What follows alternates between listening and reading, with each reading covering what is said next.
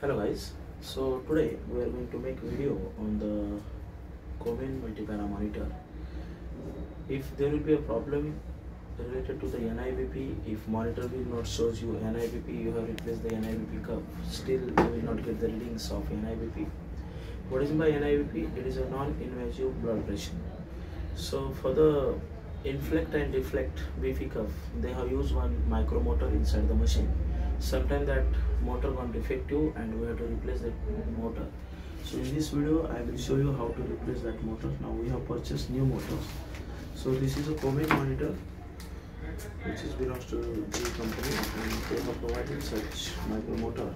So this is nothing but your NIBP motor. Now this is a new one right? Come close. So what is the rating what is the rating of this motor? It is a 12 volt right it is a 12 volt dc motor. And we have to replace this motor in this monitor come close. So first of all you have to remove all the screws of this monitor. They have provided at each and every side.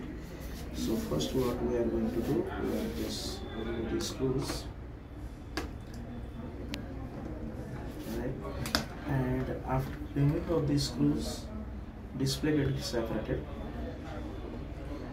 And once the display gets separated way we can remove the display right? And uh, this is nothing but motor they have provided. We have to replace this motor by new one. So simply they have provided one connector here right? So this is faulty motor i have replaced. Keep it inside. And this is a new one. Come close. They have provided this one slot right in this slot.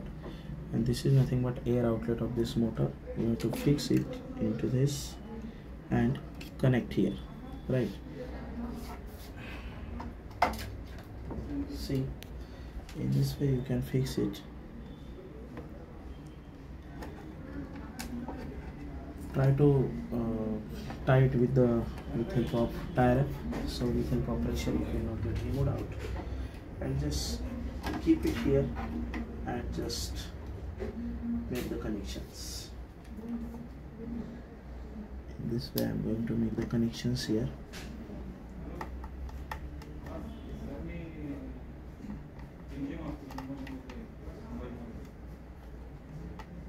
It's a very delicate task.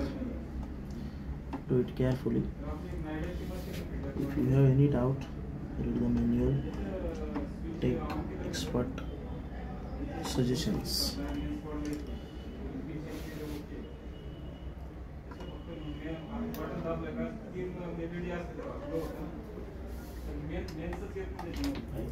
in this way now I have to just fix it.